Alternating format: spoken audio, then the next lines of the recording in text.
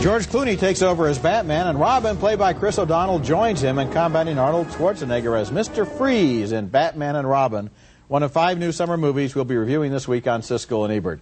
I'm Roger Ebert of the Chicago Sun-Times. And I'm Gene Siskel of the Chicago Tribune, and boy, was I shocked by the new Batman movie. It's so overproduced. Every scene is so action-filled that the movie does all of the thinking and emoting for us, and you just sit there looking at dazzling effects, yes, but you still feel bored. Add to that an unending parade of leering, double entendre jokes centered on the male anatomy, and you have an extravagant, often tasteless bore.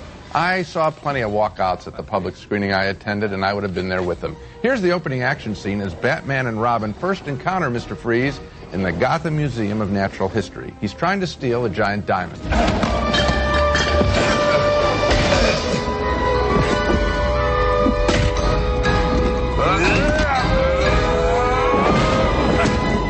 You are not sending me to the cooler.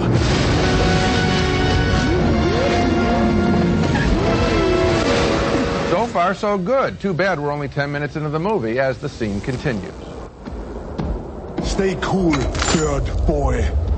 Batman has another adversary in the film, a lissome creature known as Poison Ivy, played by a languorous Uma Thurman. One problem with her character? She spreads poison, but no one itches. They just swoon. Why are all the gorgeous ones homicidal maniacs? Is it me? Part of the byplay between Batman and Robin involves jealousy. She's infected us with some sort of pheromone extract. Oh, is that what it is, Bruce? I'm under some kind of magic spell? She wants to kill you, Dick. Well, I've already delivered my criticism of Batman and Robin. The action sequences are overstuffed. They're burdened by wall-to-wall music. The joking is all below the belt. George Clooney is a good-looking bore in his role, and boring is the last word I would have expected to use so often in describing such a high-powered and, again, well-produced but overproduced Batman movie.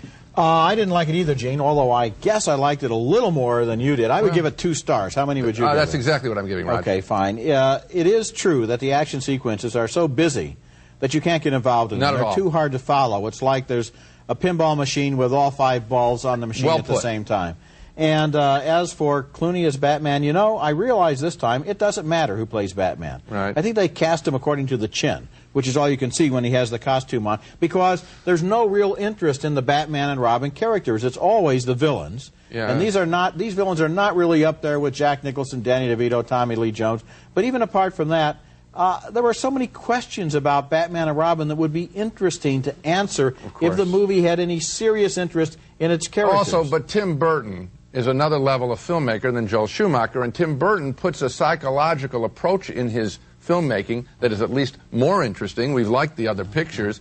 Um, here, you're, you're quite right. There is nothing. No, there's no human element.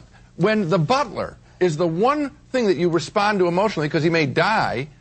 That I mean, Yeah, that's a sad strange. commentary. And his niece comes from England, Alicia Silverstone, without a British accent, and it's kind of a disappointment as she is. Actually, I did like Uma Thurman though as Poison Ivy. She has some good Wouldn't scenes. the scratching have been, if Poison Ivy? Why to have somebody scratch